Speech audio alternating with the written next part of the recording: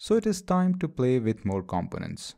So the first major components which we are going to talk about is list.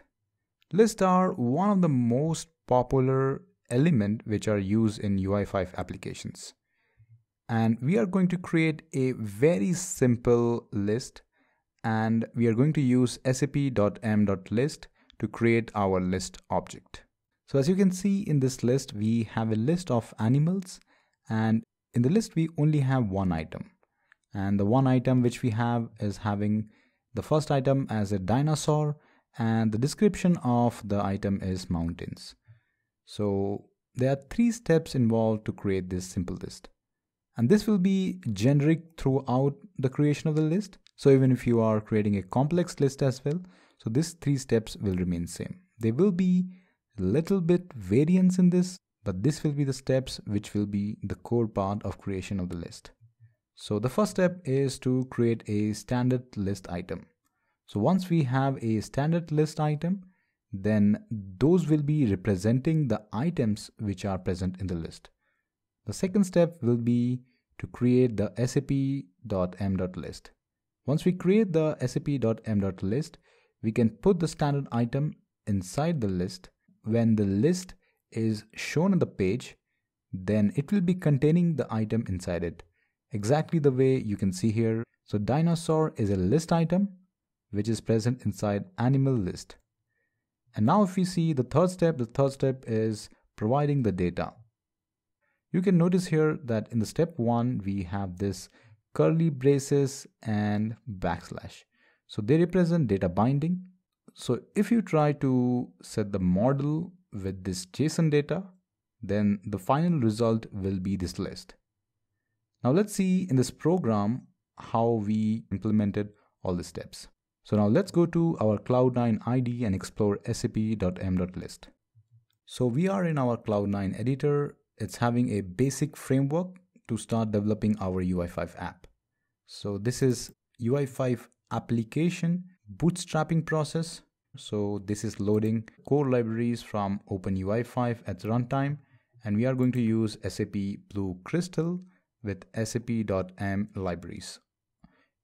So now let's try to write our UI5 code.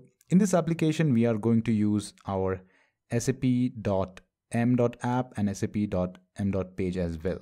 So let's start by first creating the page and the app.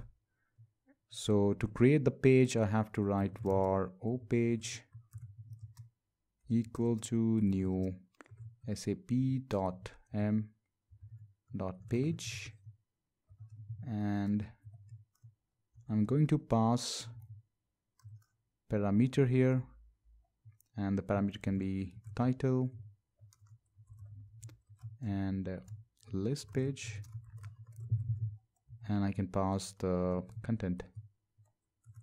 Now we have not created any content till now but we will be leaving it blank. I'm just preparing the frame for other things to be put on. So let me also create this app object sap dot m dot app. So I will add the page here pages and then I will page is added here and then I will directly place this app at content place at I can say content. And we have to also create this content because it doesn't exist in our development. So it will be inside our body.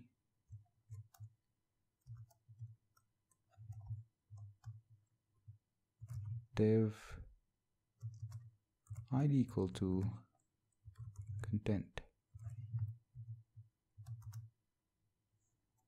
and that's it. We have the page and app ready. Now we are going to work on our list. So the first thing which we are going to do is we are going to create the data. O data. And we are going to say it's an object. And the two keys which will be involved here are the first is name. You can have the keys inside the double quotes or without any double quotes, they will not make any difference. So now the value should always be enclosed in double quotes if it's a string and it should be written as it is if it's an integer. So integer will be like 2 and strings will be like 2 and boolean are also written as they are without the enclosure so you can say true in the json data format so now let's add the name. The name is dinosaurs. So we are going to add this dinosaur in the list. Hope the list is big enough to fit him.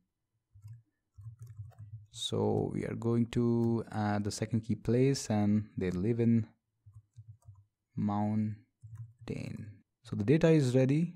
We should also create the model. So let's create the model. New sap dot m dot model json dot json model. And we are going to set the data. O model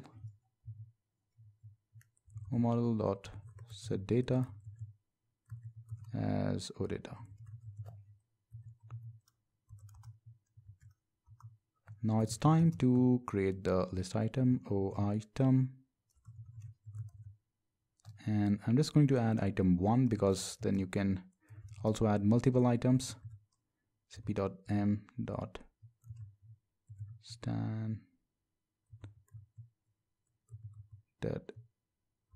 list item. And then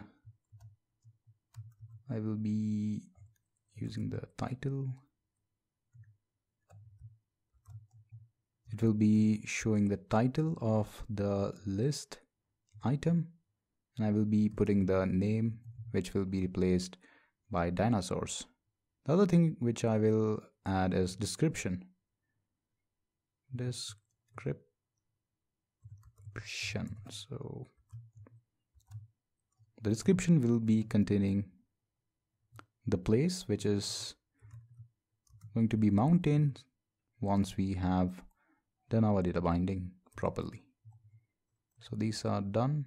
Now we are going to create a simple list and we are going to put the standard list item inside the list. So let's me m dot list. We are going to create header text as animal and items as it will be a square bracket because there can be an array of items which can be passed and all the items will be present inside the list. So so I'm going to create item one here. I'm going to put the item one side list and now that's all. Seems the final step will be putting this list inside the page. I will correct the formatting the program. Everything seems fine. Let's try to run this simple list program. And there's an error. So let's see in the browser what is the issue which we are running into. Inspect. And uh, json of undefined so we have done some mistake here in JSON model. I think it's so if we see what is the error we have, okay, we have defined the model as sap.m.model, but this is actually sap ui.model. So let's try to refresh this page after saving the cloud editor and we have the list but we do not have the data. So we are setting the model to the list. We have not set the model to the list so let's try to also do that.